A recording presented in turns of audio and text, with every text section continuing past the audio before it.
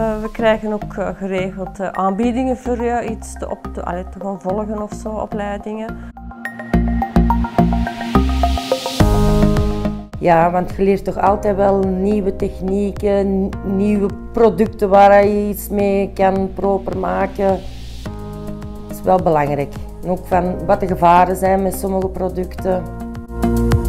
ik heb een opleiding gekregen voor ja, alles producten kennen.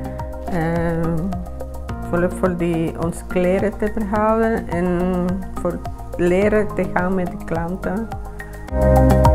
Ja, dat heb ik al een keer gevolgd. Als er zorgbehoevende mensen zijn of als er iemand ziek wordt in uw, in uw gezin, wat moet je doen? Hoe, hoe spreekt je daarmee?